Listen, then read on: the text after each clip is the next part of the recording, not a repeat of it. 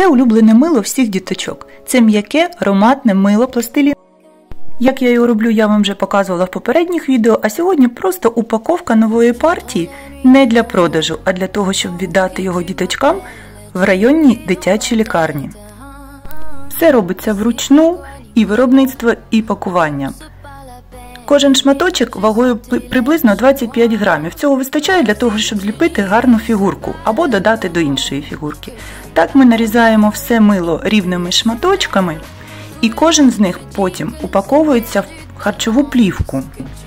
Це потрібно для того, щоб мило пластилін залишалося м'яким. Так воно може зберігатися і залишатися м'яким до 6 місяців.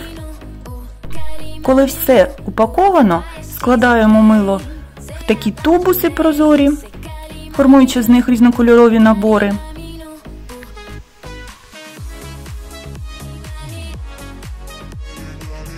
До кожного набору я додаю такі милі оченята, для того, щоб можна було їх наліпити на фігурку, і маленьку пасочку, щоб можна було щось створити цікаве. І по закінченню комендантської години все віднесемо.